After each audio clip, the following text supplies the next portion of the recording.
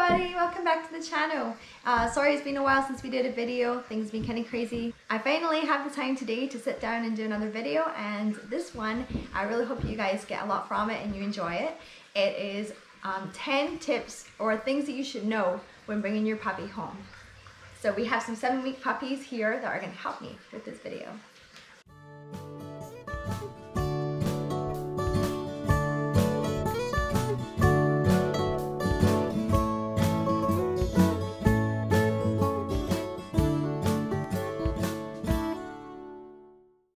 So I have Amelia's litter here. Uh, they're seven weeks old and they're off home next week and I thought this was the perfect chance to maybe sit to actually do a video on some things that will help new families when they bring their puppies home. So here they are, they're going to be helping while I'm doing this. So congratulations, the day's here, or almost here when you're watching this, and you're going to go pick up your new puppy. We're so excited for you because there's really not much else in the world that kind of compares to the excitement of having a new family member. It's really an, it's an exciting time for anyone who is a dog lover. First tip I have for you guys is when you go to pick up your puppy, uh, try to go straight home. It can be difficult because obviously you want to show a puppy off to your family members or maybe you have family who say, oh, stop by my house on the way home so we can see the puppy. Um, as great as that is, it's good for you to socialize your puppy and we'll get into that later on try to go straight home. There are a lot of changes in your puppy um, that day when they're leaving their litter mates and leaving the mum. Go straight home. Give your puppy a chance to settle before introducing them to new people and new things. Number two, food. Try to keep food the same as what the puppies are already used to. Find out from the breeder what food the puppies are on and try and purchase a bag of it. If you're unable to get it, ask the breeder if it's possible you can purchase a little bit from them. I personally always send a little bit home with the puppies if people aren't able to get it so that they can transition over. When transitioning to new food, if you can try and keep the puppies on it, ideally for a month. Some people are not able to, obviously circumstances, if you're not able to, then keep them on for a few days, a week, a couple of weeks if you can. Um, obviously, the longer the better. Just till they're settled into their new environment, into their new family, um, before changing foods. If you do decide to change the food, do so gradually. You want to take the old food and do um, start with 75% of the old food, 25% of the new food, then switch. Do that for a couple of days. Do 50-50 for a couple of days and then switch again gradually from 25 of the, the old food to 75% of the new food before you switch them over completely. The food changing process should take about a week. I follow the breeder's instructions regarding schedule as well for feeding. Some breeders will um, ration their puppies, they eat two, maybe three times a day. Um, I've always free fed my puppies. With free feeding, you have huge benefits. Puppies don't become, or dogs as when they get older, they don't become possessive of their food. They have it available to them all the time versus rationing where they only get set meals and I find that they also have a lot more digestive issues when they're rationing as opposed to free feeding. But the main thing is keeping the food schedule and the type of food the same so you're not making too many changes at once. So number four, this covers the topic of soft stools. So sometimes when puppies go home, they have particularly soft stools, maybe runny tummies, and it can be a little bit um, alarming or maybe disheartening at first because you think, oh my goodness, like is something wrong with the puppy? What's going on? Um, so long as your puppy is not throwing up and is active and not lethargic, then there's really nothing to worry about with soft stools. If they're soft or particularly runny, it can just be the change in environment, a little bit stress showing, and that's how puppies show their stress. If they do have any issues with soft runny stools, it's you can give them some probiotics or some pumpkin puree. I always give my puppies probiotics before they go out the door.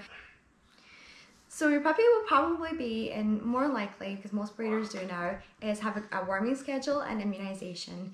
They usually have them given the first vaccine and deworm three times. Uh, it's really good idea to try and avoid public areas if you can um, till your puppy is fully immunized. Here in Ontario, puppies are immunized three times with the distemper combo and then given the rabies on the on the third visit. Yeah. Hello. So number five, house training. Oh, don't we all love house training? It's so much fun. when you get your puppy home, eight weeks of age, it's a good idea to start taking them out straight away. Even though you don't want to take them to public areas or go on long walks yet, it's a good idea just to get them out on the grass, out in your lawn, um, or in your backyard or something, and just get them going, getting used to going outside. It's, it will save you work as opposed to doing pee pads or um, any box training inside. Just get them straight outside onto the grass. Some people like to choose a designated area where that's where their puppy will go go potty. So they'll select that, they'll carry the puppy to that area. When they go potty, try not to give them any treats at that point. Try to encourage them just with lots of praise. And I always, Jamie laughs at me because I'm very high pitched when I, I praise them. I'm always like, yeah, really good, good job. But it's really good because they get excited with that. They react, they react to it and um, they know, they go, oh, I did something good. Oh, they, they're happy with that. So then they learn, okay, this is what I'm doing outside. This is really good. So the signs of them needing to go out we always recommend as soon as you see them eating or drinking, watch your puppy constantly. When they're eating and drinking, pick them up. As soon as they're done, take them outside. You usually have about five to 10 minutes. So we pick them up, take them outside, have them walk around. Try not to get them to play. If they're running around playing, try not to encourage that until they've gone potty.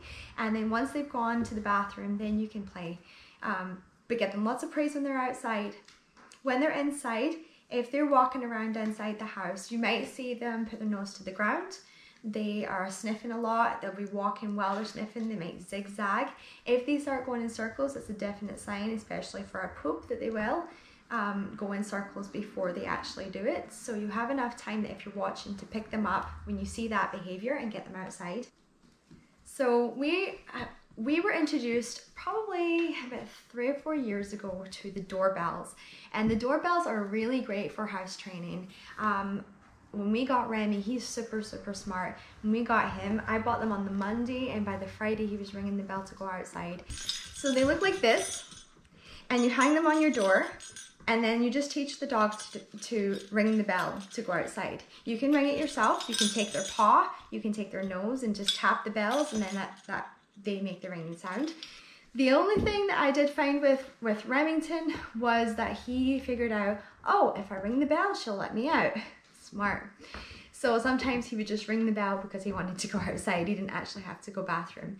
So that is something that you kind of run into, but for the most part, they work really, really well and I definitely recommend them. So number six, crate training. I know, I love crates, they're great some people really don't like them and I know that there's uh, a reason for that. They think that some people just put their puppy in a crate or dog in a crate and leave them.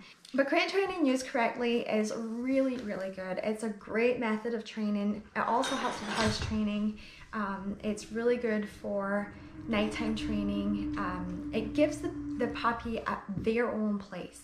It's their place where they can go and they can lie down and just feel safe and comfortable. There are different types of crates you can get, obviously different sizes for different sizes of dogs, but there are two um, particular ones that have ones that are completely covered and they just have the door on the front and then you have the ones that are wire crates that come with the divider. We always like the wire crates that come with the divider for that reason because then you can section off as you go. The other ones are pretty good too. I again like those for younger puppies. Um, it gives them more security and more shelter. So it's just personal preference which one you like. But the divider section is a really, really good idea for crate training because you want to give them enough space that they can stand up and turn around. You don't want them to have too much space, otherwise they're going to go to the other side of the crate and they're going to soil in it. And as they grow, you take that divider away and then they have the full space. When they are fully grown, they should be able to stand up and then turn around. That's as much space as they should have. Their, their backs should never be arched. They should never have to put their head down. Their head, top of their head should touch the top of touch the top of the crate or have some space above it. Um, ideally, have some space above it, but you do not want to ever have your dog arched inside the crate. That would be too small. You're going to put a lot of pressure on their joints and their bones, and it's not good for them. So for sleeping first, first nights can be a little bit um, hectic. Sometimes puppies sleep right through the night. I hear back from customers who say, yeah, the puppy slept right through the night. They didn't they didn't get up till like seven o'clock, eight o'clock next morning. They went to bed at 10, slept right through to seven, eight. Didn't soil in the crate, did fantastic. Others woke up at around about three, four o'clock in the morning and some will be pretty unhappy through the night. Um, as a breeder, I always send my puppies home with a stuffy with the mother scent on it and the litter mate scent on it. Now I know a lot of breeders don't do this and some people will ask, oh, you know, can I bring a blanket? Can I bring a stuffy and we can rub it down on the mum? I personally don't do that just for the sake of my litters and sake of my dogs as it can transfer virals from outside. I try to keep everything within my kennel. I'll go and buy stuffies, I will wash them, sanitize them, and then I'll rub them down on my mum and litter mates and then send them home with the puppies there and I know that they're safe and that there's nothing coming in to my kennel. So that really helps. Having the scent on it at night just really helps the puppy to feel settled. They feel relaxed, they feel calm, they feel safe. And um, just having some familiar smells around them when they're in an unfamiliar place. White noise and music works really, really well. You can put that what Jamie used to do was put his phone on with his music and set it on top of the crate and the puppy would just settle. We did that with Mindy and she settled down really, really well. The other thing is white noise, just having some background noise so that they they have something that kind of just makes them feel safe and comfortable. The reason why is because when they're with their mother and they're with the litter mates, they're playing with each other, they're not sleeping, sometimes they're not sleeping all night long, sometimes they do. They're used to being around each other and having the mum, having that warmth, that smell, and they are not used to complete silence. So it's good for them to have something just to kind of take away that silence come bedtime. A lot of people ask me, you know, where what should I do with the crate? Like where should I put it? It's really just personal preference, but we always encourage people like, you know, if you don't want your dog on your bed, you don't want your dog in certain rooms, don't start it when they're young. Otherwise, they will expect it. You don't want to change halfway through and say, okay, now the dog's not allowed in there. It's better to start right from this, right from eight weeks when you get your puppy home. Make your rules. Decide what you guys are comfortable with.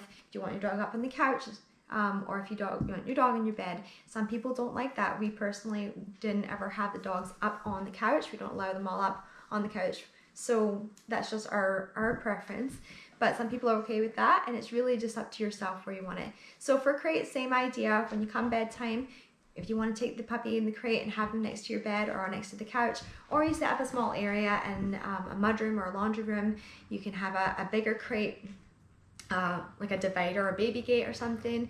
You can put some newspaper down, let the puppy come and go for a few nights before you lock them in the crate if they're really, really stressed out and they're crying a lot um, or you can just put them in there and leave them there. It's, it's really just personal preference. Everyone's different and there are different ways of doing it. There's no right or wrong. It's just finding what works for you and your puppy. And one tip, never wake a sleeping puppy. You do not want to wake your puppy through the night. You want your puppy to sleep all night long. So if your puppy wakes you and cries, that's a different story. But don't wake your puppy to take him out because if you do this, he will get in the routine. You do not want a dog a year or two years old eh, with an established routine of, I need to go outside at three or four in the morning. The dog does not need to go out three or four in the morning when it's a year or two years old. It's just the first couple of months or first little bit when you get your puppy home. So number seven, what kind of toys should I use? What should I buy for my puppy? So there's different kind of things you can get in the market. There's so many different toys nowadays. It used to be, I think, back in the day that kid dogs would just get a stick and a, a ball. So every breed is different. Um, it really just depends on what kind of dog you have. For springers, I always encourage stuffies. Stuffies are great. Obviously, you don't want them eating any pieces off. If they fall off, you gotta grab them straight away. But they really do enjoy stuffed animals. They um, they might chew them, they might pull the fluff out them. Again, it's just watching to make sure that they don't do that. Uh, if they have any buttons, try to avoid toys with buttons on them. Dollar store have little cheap ones like that. PetSmart do really great toys as well. We always recommend the Kong products. They're really good. Some dogs, funnily enough, don't really like them that much, but most dogs do. They do really well with the Kong products. Kong have, it's a really, really hard rubber. It's, they're almost indestructible and they have a hole right through the middle of it. And you can put some treats in there so put some um, peanut butter in there and just let your dog have a little time out in that and lick the peanut butter toys. So it's a good idea to have a good variation of toys in your house just to keep your puppy busy. So number nine training. Training is fun, but it can also be a little bit stressful because sometimes people don't really know where to start or you've got a dog that maybe just isn't listening the greatest it can. It can. When you've got your puppy home, obviously we want to wait till they're fully immunized before we start any puppy classes, but you can start on some basic obedience right away. You teach your puppy with treats, you can teach them how to sit, teach them how to lie down, teach them how to shake a paw. It is a good idea to um, teach them as well when it comes to feeding time to sit when you fill up their bowl and you put the things. Now we free feed our dogs, so we'll fill up their bowls, we'll make them sit, and then we'll put the bowl down to them. Even if you're being free fed and you do that twice a day, it just makes just gets you in a routine to teach your puppy okay they have to sit and wait for their food they don't get it whenever they want it they have to work for it they have to do something for it so start early with with uh, training for feeding as well as another tip is to put your hands in the food bowl. Again, if you're free feeding, you shouldn't have much of a problem with this. This can more develop with dogs that maybe are a little bit more possessive of their food when it comes to, especially with rationing, uh, they can get a little bit food possessive or food aggressive. Or even when you are free feeding, just put your hand in the food and get them used to taking food from you. That it's okay if people put their hand in your food, then they don't need to try and protect it later on. So number nine, with springers, they are particularly very excited when they see people. So typically as young puppies, they will get excited to see you and they can be um, jumpy or they can be uh, just a little bit more active. So one thing that I always try to encourage people is try not to let your dog jump up a lot or go up and down stairs.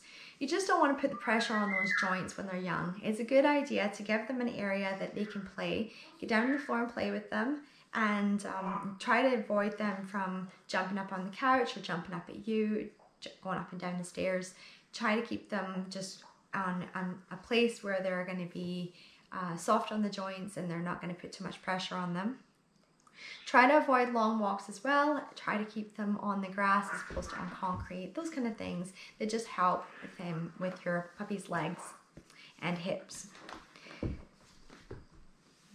So especially when you first get your puppy home, it's a good idea to carry them up and down the stairs or lift them up if you're bringing them up onto the couch. Try not to let them jump down off the couch. I know that can be hard because some dogs just do it, that they want to be independent and they're excited and they kind of get a little bit crazy. But it's a good idea if you can to try and control that, help them as much as you can um, with, those with that area. So number 10, finally, enjoy your puppy. Enjoy the time that you have with them. It's the puppy stage doesn't last forever, and I know at the time sometimes we're tearing our hair out because we're trying to do everything right and trying to do everything perfect, and it does take some time before the puppy is doing what you want it to do consistently. Um, but it's a really fun stage. They're really, and they're so cute. And so enjoy this stage, enjoy it.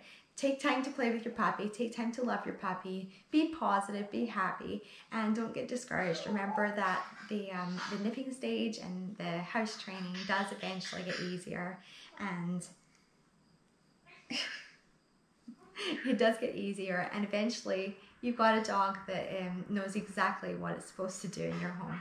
So I hope you really enjoyed this video and that you enjoyed and maybe learned a lot, maybe it helped you out a lot. If it did, please give us a like, give us a comment as well, and let us know what you're thinking. If you have any questions um, and anything that I've talked about, I'd love to answer them too. And uh, yeah, if you haven't subscribed to our channel, hit the subscribe button and you will get notifications when we upload a new video.